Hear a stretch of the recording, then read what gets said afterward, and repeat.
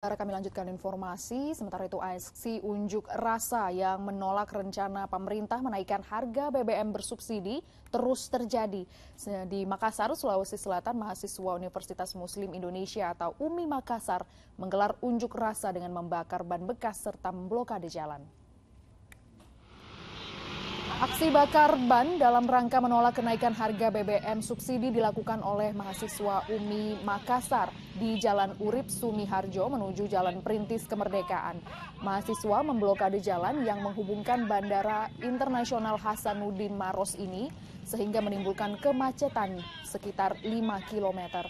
Mereka menilai kenaikan harga BBM subsidi akan memicu inflasi dan kenaikan harga barang serta semakin menyulitkan warga yang tidak mampu apalagi di tengah kondisi ekonomi yang sulit dampak dari pandemi COVID-19.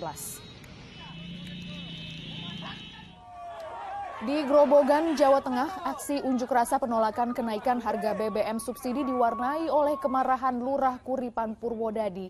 Sang lurah marah dan jengkel karena melihat salah satu anak buahnya yang bernama Umar ikut unjuk rasa di saat jam kerja. Sang lurah semakin jengkel karena pegawai honorer yang ikut demo ini sudah tidak kerja selama dua pekan. Tak hanya itu, Umar diduga membawa uang kantor dan uang penarikan pajak bumi dan bangunan dari warga. Sempat terjadi ketegangan, saudara, karena teman-teman Umar tidak terima. Ini katanya izin ke Sumatera satu minggu, tapi kenalan dua minggu tidak masuk tanggung jawab kerja gimana? Tapi ini lagi urusan rakyat, Pak. Ini di sini atas nama pribadi, Pak. Cuma mau demo, Pak. Tapi ini atas nama pribadi rakyat, Pak. ada tanggungan apa dengan ada tanggungan, ini ada tanggungan dengan saya. Tanggungan apa? Sampaikan, biar jelas. Pajak, PBB dan lain kampung. Di bawah? Di bawah Mas Wakil? Di, ya. di rumah ya, belum saya store. Monggo, organisasinya tanggung jawab enggak? Ya, nanti kita tanggung jawab, Pak. Biarkan ini kita melanjutkan aksi dulu, Pak. Di sini kita berdiri Ini bukan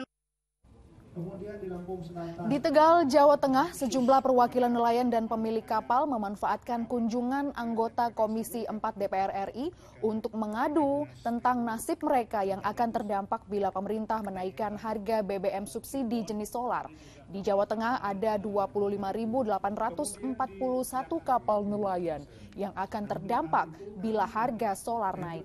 Para anggota DPR pun berjanji akan mencari solusi terkait hal ini serta akan berdialog dengan Kementerian Perikanan dan Kelautan. Spanduk di seluruh pelabuhan-pelabuhan yang strategis tempatnya agar